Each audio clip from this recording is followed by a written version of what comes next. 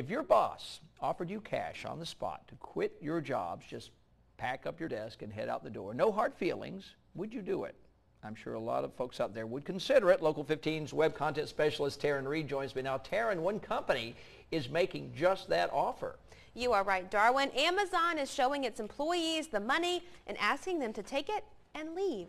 The Pay to Quit program is designed to make sure employees really want to be there, but it's only available to warehouse employees. Amazon is in the process of adding jobs, so this isn't about reducing the workforce. The internet giant makes this offer once a year.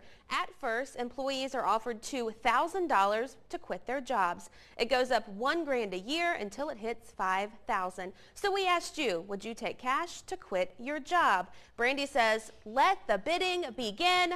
Just kidding. I love my job. And Nick says, I have two jobs. For one, the answer is yes, definitely. I kind of like the other one, so I'd keep it.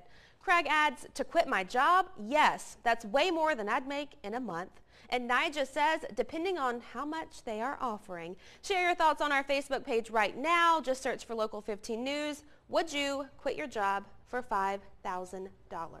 And we've been talking about it Yeah. here.